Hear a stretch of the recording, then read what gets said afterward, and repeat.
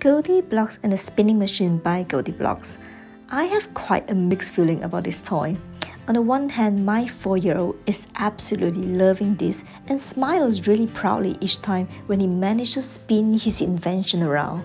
But on the other hand, there was a bit of frustration when we just couldn't execute quite a few suggested designs from the book. Why I love this toy? 1. A construction toy combines a storybook can hardly go wrong. The concept is aimed to encourage girls to discover the wonder of engineering world, although I think the toy is gender neutral in itself. 2. Kids love watching the magic of the five beautifully crafted figures spinning the wheels with a pull of a ribbon. I love how it encourages kids to invent. It's amazing to watch how some axle, blocks, wheels, and a ribbon can form so many clever designs with so much pulling and spinning fun. My rating 4 star out of 5, recommended age 4 year old and above.